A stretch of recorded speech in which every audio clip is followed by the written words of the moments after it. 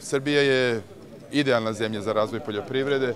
Potrebno je uložiti u infrastrukturu, u navodnjavanje, u nove pumpne sisteme, ne samo prokopavanje i čišćenje postojećih kanala, e, potom upotrebu novih tehnologija, čak i telekomunikacija u sistemima za navodnjavanje kako bismo podigli prinose, kako bi subvencije koje naša vlada opredeljuje imale puni efekat korisnog dejstva i kako bismo povećavali udeo bruto društvenog proizvoda iz poljoprivrede.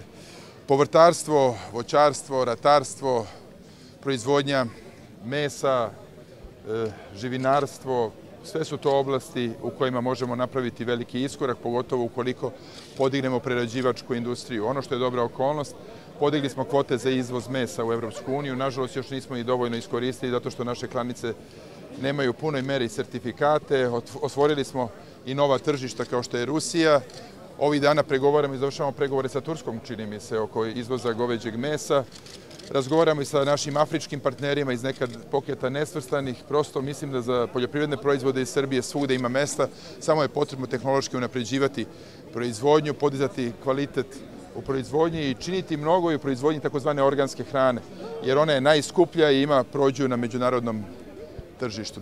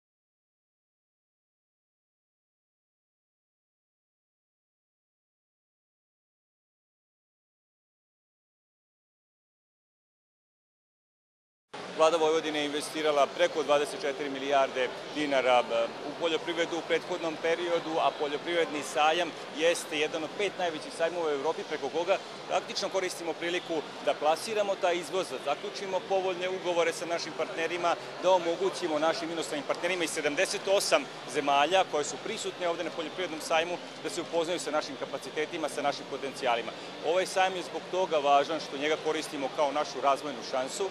Mi smo zemlja koja je sve bliža Evropskoj uniji. Mi smo zemlja koja doživljava da evo već treću godinu za redom jedna zemlja članica Evropske unije jeste sa nama praktično domaći na poljoprivrednom sajmu i ta okolnost nam omogućava da nam se otvaraju i evropska tržišta, da sve više i više izvozimo. Za dva i po puta smo povećali izvoz poljoprivrednih proizvoda u prethodnih pet godina i to je već dovoljan podatak koliki su naši potencijali u poljoprivredi.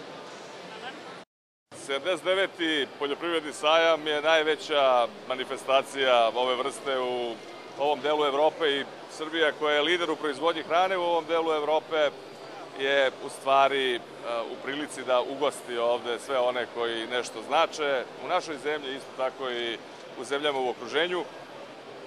Napravili smo velike iskorake u protekle dve ili tri godine. Imamo rekordan izvoz od 2,7 milijardi dolara. Ono što nam prva tri meseca ove godine kazuju da ćemo taj izvoz povećati u odnosu na prošlu godinu.